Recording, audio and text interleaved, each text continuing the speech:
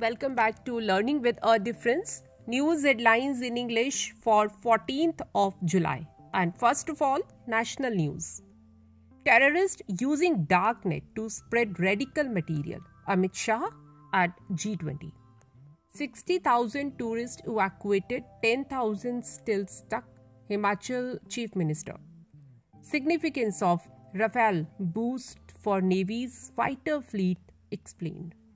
In Delhi, several areas have been flooded as Yamuna now flows 3 meters above the danger mark.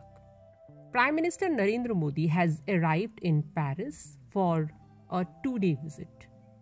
PM Modi will be the guest of honor for the July 14 military parade. Several trains cancelled over rising water level of Yamuna in Delhi. Some global forces use tech for social harm, Amit Shah at G20 meet. India considers banning most rice exports as local prices surge, a report said. ASEAN crucial pillar of India's Act East policy, S. Jaishankar in Jakarta. Go first, extended flight cancellation till July 16. CUET UG result will be declared by July 17. Education Board Chairman said. Now, international news. UK visa fees, health surcharge uh, to go up significantly. Rishi Sunak. Elon Musk said he advocated for uh, artificial intelligence regulations in China meetings. Australian man Greg Rose quit as CEO, became truck driver. People who train Google's artificial intelligence chatbot are scared, stressed, and repeat. Chinese hackers breach US government emails through Microsoft Cloud, a report said. Elon Musk on Wednesday launched his own artificial intelligence company, XAI. Now, some sports news.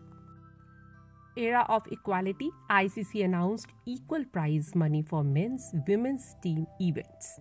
India vs West Indies, Yashasvi Jaiswal surpassed Sachin Tendulkar Shubman Gill for unique feat with Test debut. Duleep Trophy, Vidwath's Kaverappa four-wicket burst gave South Zone edge. Indian batters flopped again. Bangladesh pull off consolation win.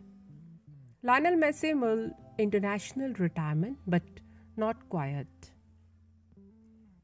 PV Sindhu, Lakshya Sen won openers. Sai Praneeth losses in US Open.